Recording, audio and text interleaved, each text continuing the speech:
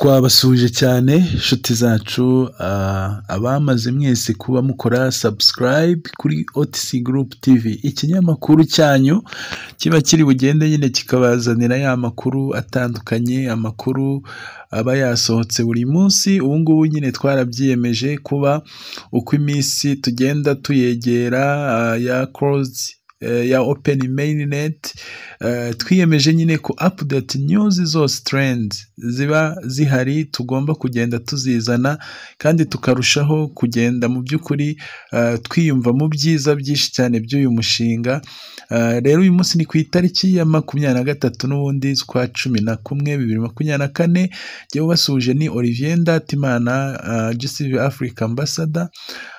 Hanyuma rero kuri iyi tariki n'ubundi tukaba tubafitiye agaseke k'amakuru menshi atandukanye aho twizera ko kandi n'ubundi ari buba agenda banezeza kandi mwebwe mwese muba mwaramaze kutwereka ko mudukunda aho muherereye mu bihugu byose bitandukanye turabizi ko amakuru ya otc group muyakurikirana cyane kandi natwe bidutera imbaraga nyine zo kurushaho kugenda tukabashakira n'andi makuru meza nk'aya tuba tugiye kuza nyine n'ubundi tuganiraho.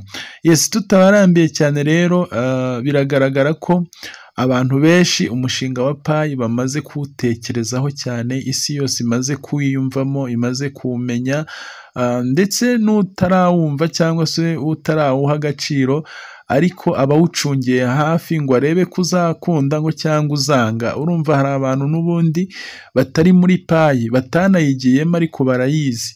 Noneho barajwe ishinga no kuvuga ngo barebe bya bintu niba bizemera cyangwa bizanga.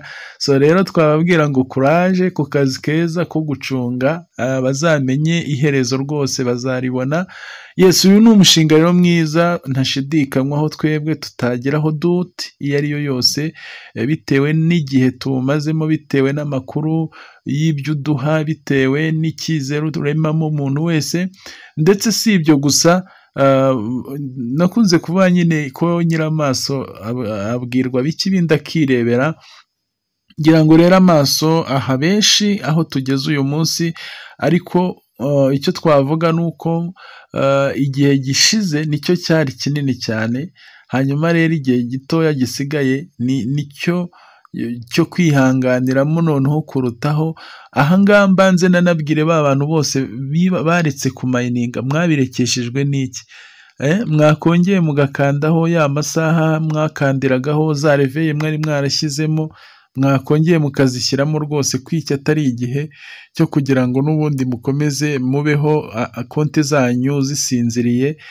Nk'ubu ngubu niba hari n'umuntu bahaye konti ngo ikore KYC akaba yarayiretse urumva ejo bundi ho baraba bayidiretinze rwose iraba ivuye muri sisiteme tukiri n'ahangaha reka wenda mbanze mvuge ko mu rwego rwo kuba twe nka payi komyuniti tutanazi neza sitarateji izakoreshwa n'aba bayobozi ba porojegiti ya payi mu rwego wenda rwo gukora icyo andi ma porojegiti nk'ayakora bita kubaninga koyini baningi abangaba rero bashobora kuzabikora mu buryo buri sitarategike aho uyu munsi mushobora kuzasanga nabo bashobora gutekereza bati payi ziri mu bantu ni nyinshi cyangwa se n'izo twasohoye twebwe twubahirije ikigero izo twagomba gusohora ariko nanone tugomba kongera kuzishyiramo gukarishya. Icyo bita gukarishya rero ni ukuvuga ngo ni uburyo bwo kuzifunga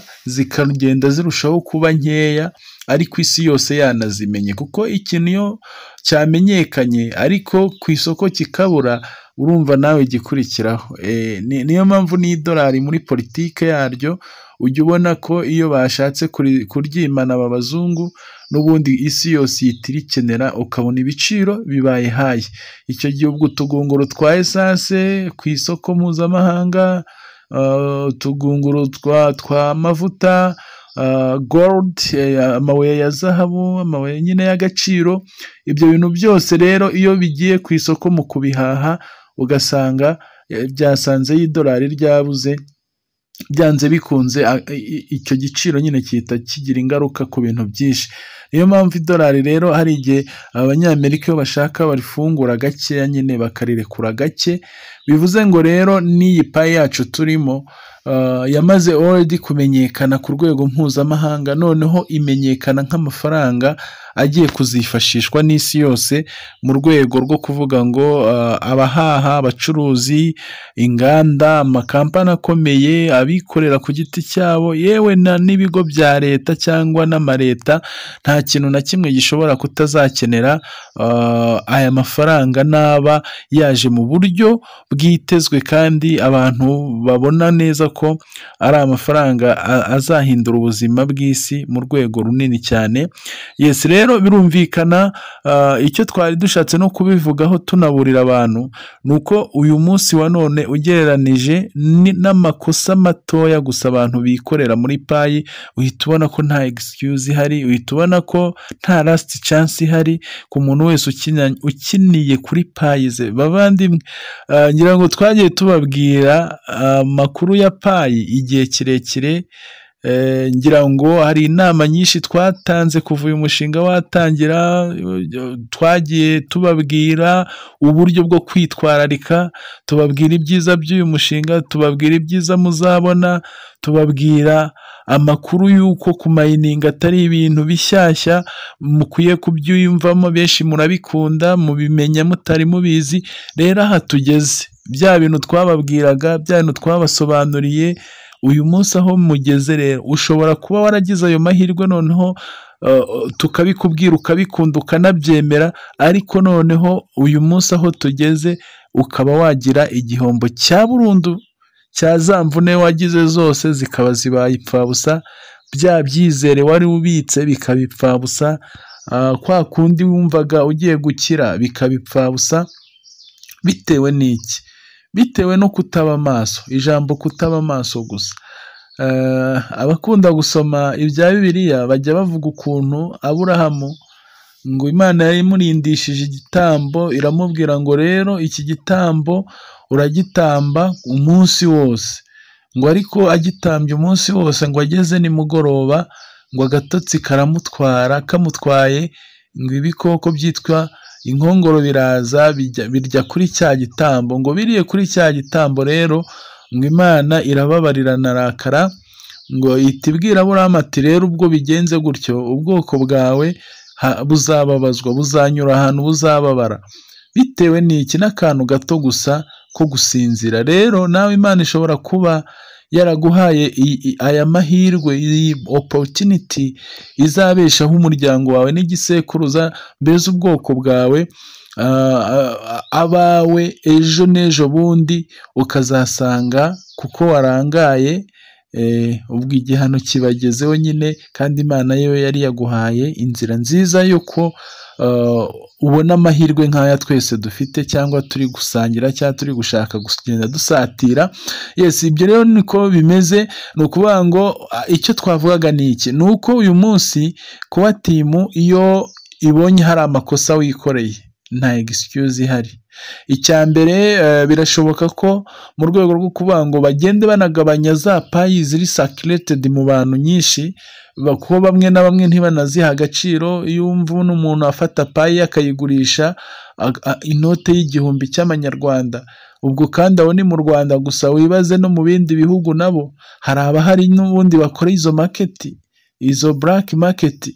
Noneho ukibaza ngo se uwo muntu koko iyo payi ari gutesha agaciro kuri urwo rwego ya- yamaze gusobanukirwa icyo atunze icyo ari cyo urumva rero ko timu ishobora gushyiraho sitarateji nyinshi zitandukanye aho ubona uyu munsi nk'abantu bamwe bibagiwe amakonte urabona ko amapasiwadi urabona ko nta nzira ihari bongeye gutanga yo ku- yo kugarura ayo makonte vuba kandi wibuke ko bamwe bafite ibibazo by'amakewayisi ubwo abo ngabo nubwo bamayiniza izo payi zishobora kuba zeru Ah, hari abantu bandi bahawe amahirwe payi zabo barazibona zijya no ku mawareti uyu munsi ugashiduka bakinnye n'amawareti yabo ah, ngira ngo hari ah, ikintu twamaze gutekerezaho urabona ziriya funguzo abantu bagiye bafata bwa mbere bakazikonfirima mu mawareti noneho ejo ukongera ukazikuramo. Urumva nyine bisa nko kwikontradwiza ariko nanone bi- bisaba ku- kubitekerezaho cyane.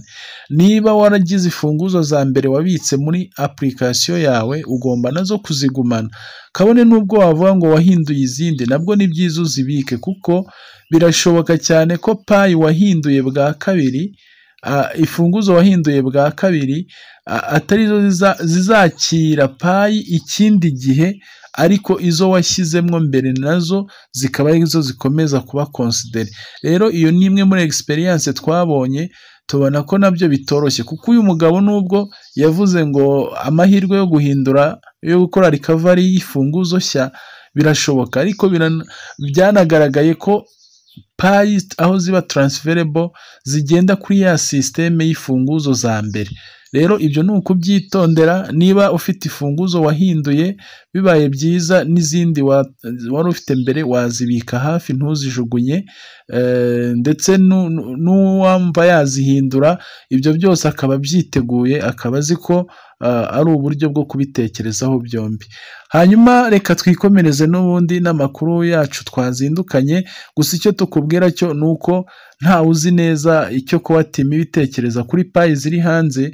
Niyo mpamvu akantu kose kakureba uba ukwiye kukitaho ngira ngo mu myaka yashize twari twarabakoreye otisi gurupe yigeze bakorera urutonde rw'ibintu bigeze muri cumi na bibiri icyo gihe twavugaga ngo ibintu cumi na bibiri umupayiniya mwiza akwiye kuba yubahirije icyo gihe mu rutonde twajyaga tubabwiramo kuba ufite konti ziri verifa izi konti ifite amaverifikasiyo. Ariho fone namba fesibuke imeri na pasiwadi uyibuka neza kandi nanone ukaba ufite simukadi ufiteho akise muri ibyo byose ijambo rimwe nshatse gukuramo ni ijambo ryitwa facebook verification.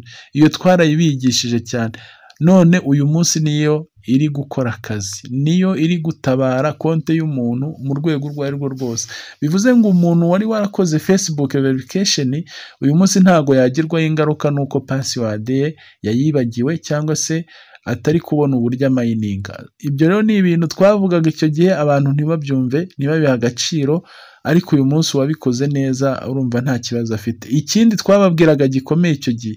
Twajyaga tubabwira ibintu bijyanye no, no kwapudetinga amazina yanyu. Iyo grace period yo kwapudetinga amazina yabayeho ariko utarabikoze icyo gihe nawe mwabonye ko ubu ari mu ngaruka bitewe n'uko ku benshi bakoze ama KYC bakagongwa n'amazina yanditse nabi icyo kintu nyine cyabagizeho ingaruka KYC zabo zikaba rejected. So ibyo rero ni ibintu twagiye tubigisha cyane uyu munsi ku muntu uba utarabyumvise ngo abyubahirize cyangwa yirefere nyine kuri ibyo referanse twabahaga urumva uyu munsi afite ikibazo. Ariko nanone haracyari amahirwe y'uko abanditse amazina nabi yo hari uburyo agenda bikosorwa ripoti zigakorwa kugira ngo akawunti yawe noneho uyihuze neza na riyo names cyangwa se official names ziri mu byangombwa byawe.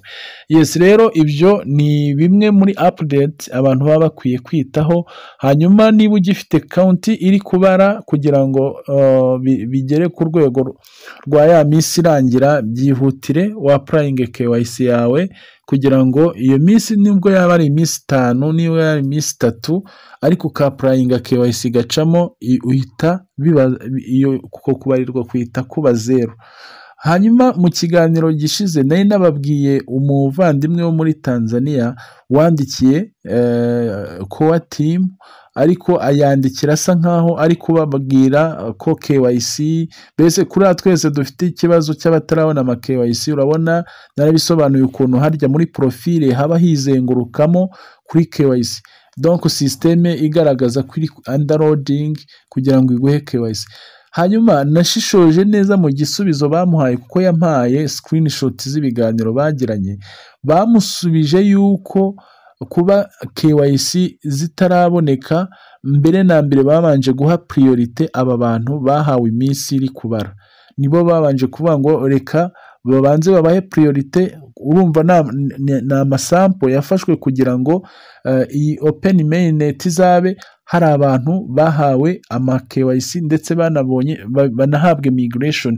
Muribuka ko ku itariki mirongo itatu n'imwe z'ukwa cumi n'abiri niyo deadline y'icyitwa open migration.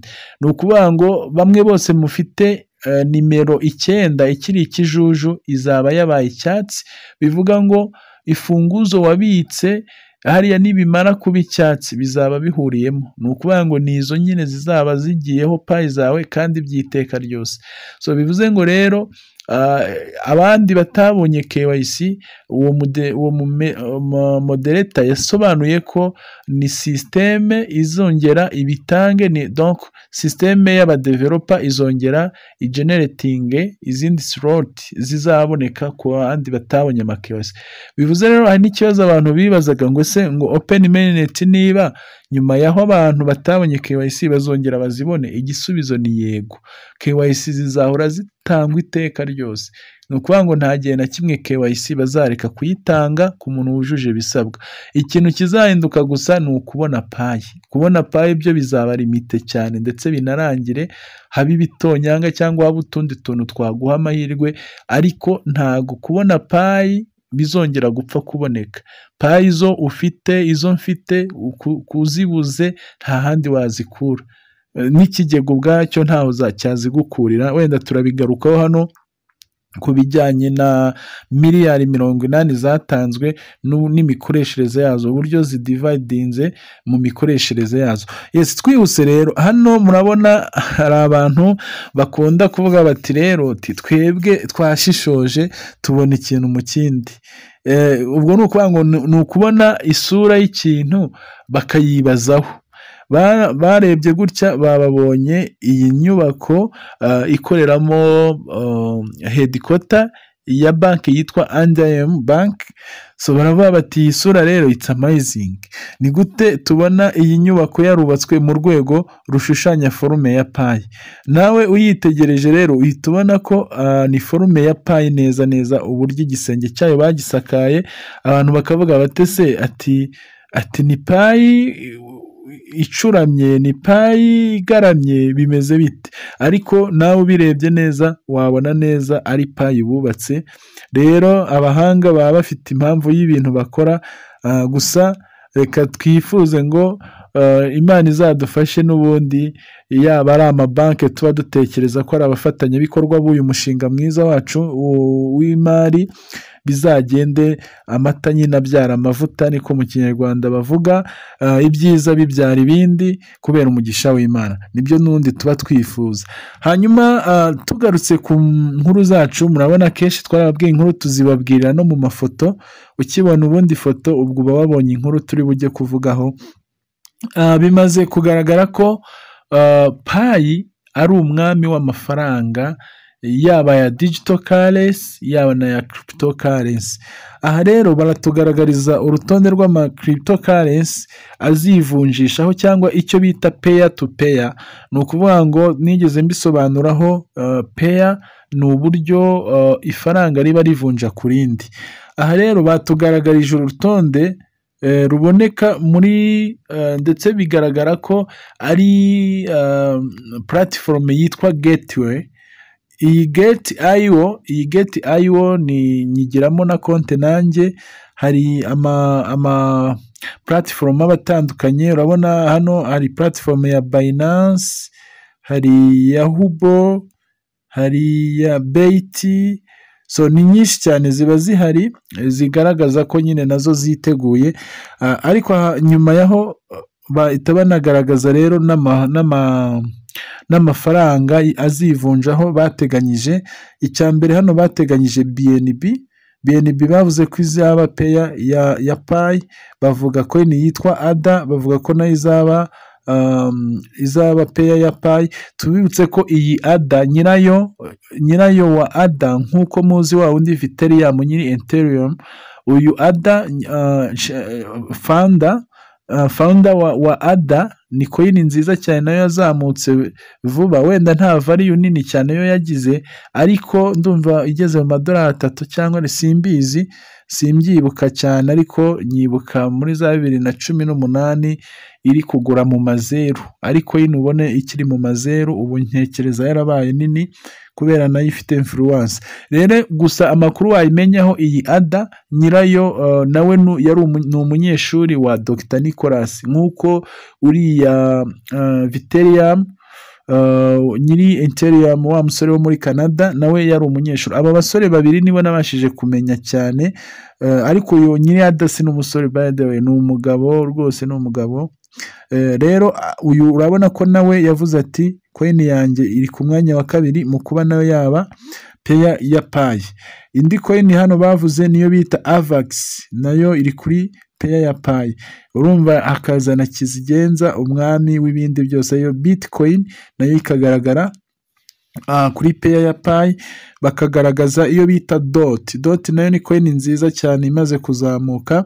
Ah, bakagaragaza na ethereum kuri peya ya payi bakagaragaza litcoin eh, na yo kuri peya ya payi bakagaragaza um, iyo bita sol na yo ni peya ya payi izi zose zifite agaciro yaba ethereum yaba dot yaba, Ethe- yaba sol Uh, noneho bakagaragaza izindi na zo zari zikiri hasi zigikura zanaharyamye imyaka myinshi bakagaragaza TRC iyi TRC tubibutse ko yo ikora muri protocol y'amatransaction uh, wenda iyo abantu bariho ba, bakora transaction like hari ibyo twita TRC 20 TR, cyangwa se eh, BNB 20 ibintu nk'ibyo ngibyo.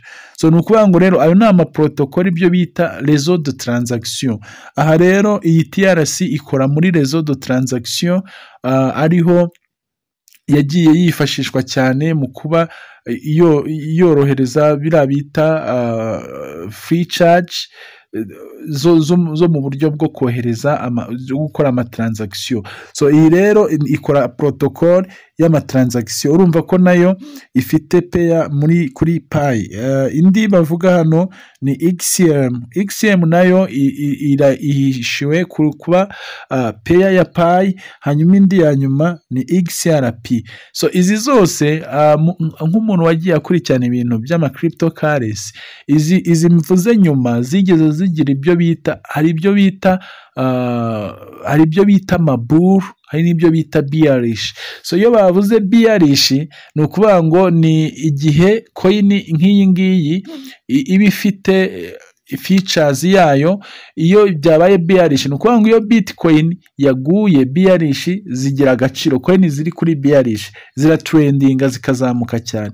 Noneho habaho icyo bita uh, kuzamuka kwa bitcoin noneho hakabaho ubwo ibyo bita amaburu na byo bikabustinga so hari abantu bazi ibyo bintu rero ubwo abo muri generasiyo y'ibi bintu murabizi cyane ukuntu hari abantu byigeze bikiza bikabije hari n'abandi byahombeje bikabije. So abo- ni cyo nari nishatse kubibutsaho kuri coin bene izi ngizi ariko icyiza gihari eh, ni uko bigaragara ko payi yacu izaba ari over control y'andi makoini yose ashoboka ndetse no muri digital currency mu mafaranga y'amabanki cyangwa n'andi ari eh, asset zisanzwe. So rero dukomeje amakuru yacu n'ubundi kuri iyi tariki murabona ko umushinga wacu ukomeje kuba ubuki kuba uburyohe bukabije aho bagenda batugaragariza ibikorwa byiza byose biri muri ripoti zijyanye n'uko abacuruzi bakomeje kwigaragaza muri sisiteme aha babanje kutubwira yuko ah, tugomba kugerageza gukomeza kongera amasoko. Hano bavuze ngo let's continue to expand pi local kamaso utility.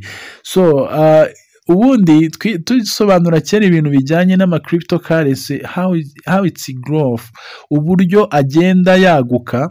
Icya mbere yagukira ku cyo bita usability and utility.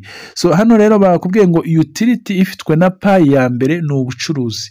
Ubu bucuruzi rero ni bwo ni bwo buri ku ruhembe kugira ngo bubustinge agaciro bufate sustainability y'agaciro ka payi so ahangaha rero baratwereka yuko map of pi ari kimwe muri utility ikomeye kandi koko ifite agaciro aho uyu munsi bagaragaza ko abacuruzi bamaze kwiyandika bagaragaje ko bamaze kuba ibihumbi mirongo itanu na bitanu. Aba- abacuruzi barenga ibihumbi mirongo itanu na bitanu nibo bamaze kuyoboka isoko bakiyandika. Gusa hano harimo igiteranyo cy'abari test eh, n'abari active.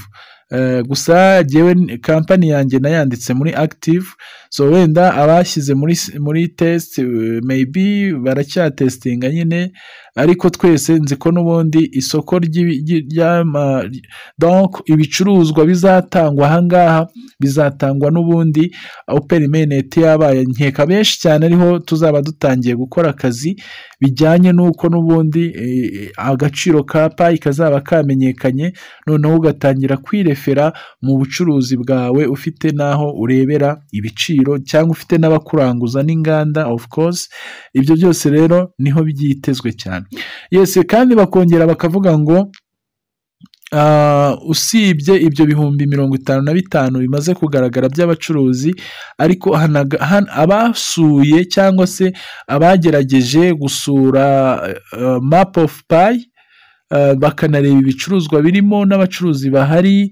Uh, kugeza uyu munsi nyine bavuga ko abageze ku bihumbi magana cyenda na mirongo itanu ari bo bamaze kwitabira gusura iri soko.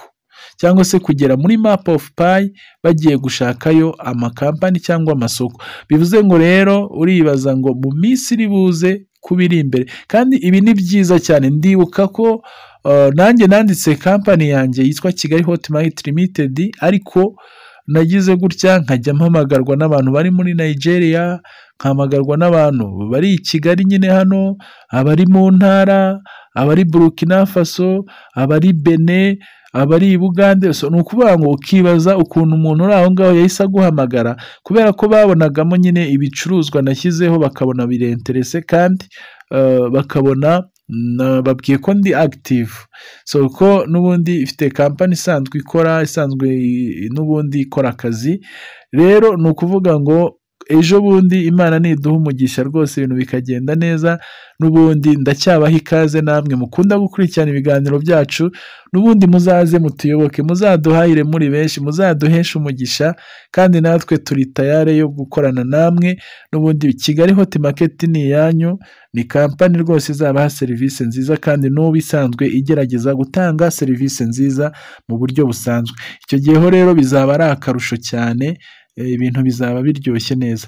Hanyuma ayo niyo makuru bari kutwereka ndetse bongeye guhesha agaciro ya mafoto mufata urumva uyu munsi uzi gutanga ifoto wifotoreje mu kabutike kawe ukabona isi yose barayikamenyesheje ati dore umupaniya wacu urumva it's so proud. Eh, ngira ngo iyo wafashe ifoto nziza ikajya muri fair eh, eh, muri fair site eh, bigenda bigaragara neza cyane ko ah, ni publicité na yo nyine baba bagukoreye cyangwa se no kugaragaza ibyo ukora ku rwego mpuzamahanga nk'uko urumva ni byiza cyane. Rero hagiye hagaragara um, ibicuruzwa bitandukanye urabona hari n'uwashyize mu imodoka usibye kumenya ari imodoka na yo eh, iba yigendera inaniwe ariko icyo twiteze ni uko after open mainnet ibicuruzwa bizaba bihari ni ibishya ntihazagire umuntu uguha ibintu bishaje ntago tuzaba turi muri gahunda yo kugendana n'ibishaje. Ntago nyakatsi zizaba zigihari ni ukugendana n'ibyiza bishyashya bihumura. Niko bizaba bimeze. Hanyuma tugenda n'ubundi tugana ku musozo w'amakuru yacu eh, twari tubafitiye nk'uko nari nabibijeje eh, reka twongere twibukiranye eh, impamvu payi ufite ari iz'agaciro n'impamvu yo kuzirinda jaruzoma. So murabizi ko mbere na mbere eh, hatanzwe cyangwa se umushinga wa pi netiwaka wofarinze ibi miliyari ijana za payi. Ariko baravuga ngo miliyari mirongo inani nizo tuzashyira mu bikorwa. Nizo eh, project izubakiraho. Ubwo urumva bisobanuye iki? Bi- bisobanuye ko izindi miliyari makumyabiri ziri mu kigega kitazwi. Ziri ahantu mu bubiko ni rizavu Ah, izo miliyari makumyabiri bo baziteganya ko ari rizavu nk'uko uyu munsi abubatse bitcoin bo bakoze miliyoni makumyabiri n'enye. Ariko iziri muri circulation ushobora gusanga zitarenga na miliyoni cumi n'esheshatu cyangwa makumyabiri. Bivuze ngo rero izo zindi baba babitse ni rizavu nyine y'ikindi gihe y'indi myaka. Aha rero muri za miliyari mirongo inani icyo batugaragariza cyo bavuze yuko uh, miliyari makumyabiri ariyo 20 billion baziteganyije ko zizakoreshwa mu byo bita pre-mainnet mining rewards.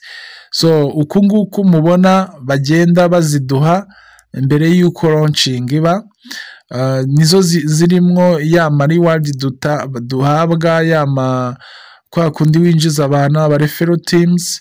Hano bakagaragaza uh, noneho main mining reward noneho izazinda abantu bakorera zabo.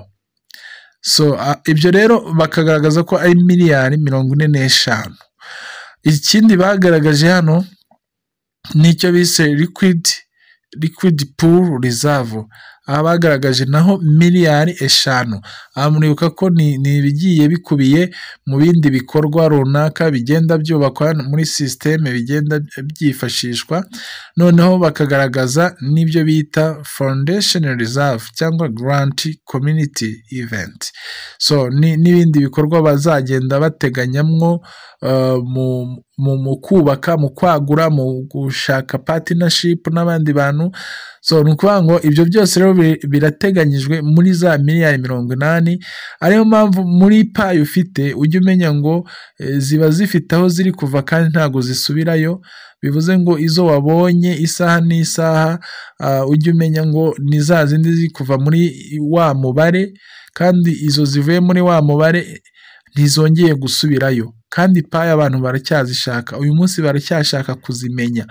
Ni ukuvuga ngo abenshi cyane bagiye kumenya payi ibihe byarangiye byo kuzibona. Ejo bundi hari umuntu uvandimwe uherutse kumbwira ngo ariko rivi ngo uko twajyaga tuganira cyane ngo kuki utambwiye ibintu bya payi ngo uzi ko ngo mbimenye ejo bundi? Ndamubwira ati rero muvandimwe si uko utabikubwira nari nzi neza ko utabyemera. Rero abantu ntibazarenganya abandi buriya umuntu biterwa n'uko ubona kwitwaraho n'uko umuzi kuko n'abo twabwiye payi si uko ari inshuti zacu si uko ari bo dukunda cyane ni ukuvuga ngo umuntu agira amahirwe. Ye hari uwo wayibwiye kuko ubona bishaka ubona ari umuntu ufite ubwo bushake kandi koko akabyemera. Hari n'abo twabibwiye rero babica amazi cyangwa se babiha agaciro gake. Uyu munsi rero ni ukuvuga ngo buri wese aba avuga ngo ah, nta- nta- ntabwo umuntu agiye kunyumvira ubusa ntabwo agiye ariko mu by'ukuri iyo umuntu agizwe kuba yakubaha umuntu umuhaye amakuru akayabyaza umusaruro nk'aya ya payi biba bizamugirira akamaro. Kandi nawe aba azavuga ngo yagize inshuti nziza. Rero n'ubundi reka twongere tubatume nk'uko twabatumaga kera rwose izo nshuti zanyu abo bavandimwe banyu umuntu wumva waha amahirwe yo kubona kumenya payi. Nubwo yaba uyu munsi eh, abonye payizi ebyiri cyangwa eshanu byonyine kuzagira iriya konti yanyuze muri payi. Ya orojinari sinzi nigeze mbaye ikigereranyo kimeze nk'umuntu ufite ikima cy'ubuki ahakuramo. Burya nubwo ubuki waba wabukuye mu kima ariko mu muzinga ariko hasigaramo ibitonyanga hasigaramo ibintu biryoharyoshye bigenda bikwereka ko aho hantu hahoze ubuki. Rero eh, ni- byiza cyane kumenya ko kugira konti yo muri payi iki gihe ari ari ukugira igitsinsi kizahora kigira ibitonyanga kiguhereza biryoshye bimeze nk'ubuki. Yes ikindi inkuru dusorejeho ni inkuru ivuga cyane yuko uyu muyobozi Donald Trump waba- wabaye perezida wa leta zunze ubumwe za amerika bivugwa ko mu rwego rwiwe rwo kuba ashyigikiye bizinesi z'ikoranabuhanga cyane cyane ziganjemo ubukungu bushingiye ku mafaranga y'ikoranabuhanga ari ryo cryptocurrency. Aho bivugwa cyane ko ah, ndabona ari ibinyamakuru byagiye bibigarukaho ndabona icyo bita bitcoin news. Ah, cyagaragaje yuko nyine eh, perezida Trump ashobora kuba muri gahunda ze azashyiraho a- azaporopoza zero tax zero tax ku matransaction ya cryptocurrency.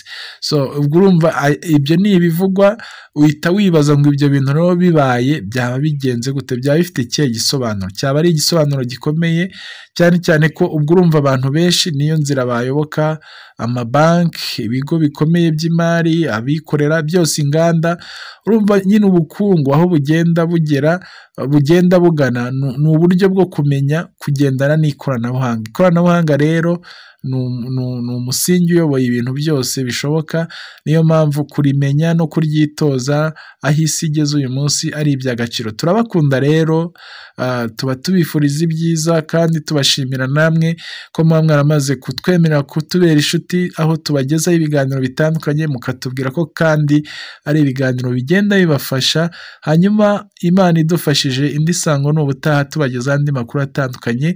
Mu kiganiro gishize nababwiye ko habaho linki yo kukereyiminga yo- kuba watanga ripoti ku muntu uba waragize ibyago akitaba imana yaramayininze iyo linki twaje kuba tuyibona ndetse n'ibyandikwa ubwo muri iki kiganiro hari umuntu wumva yagize ibyago akeneye kuzaripotinga umupayoniya we yumva afite bafitanye isano rya bugufi ubwo azatwegere iyo linki tuzayimuha tumuhe n'ibyo bisabwa barabivuze eh, muri iryo tangazo birimo kandi imana ibarinde mwese. Utarakora rero subscribe wanayikora ikiganiro uba wagiye inshuti zawe amakuru yo ni akagaruka mwari kumwe na olivier ndatimana gcv africa ambassador imana ibarinde mwese.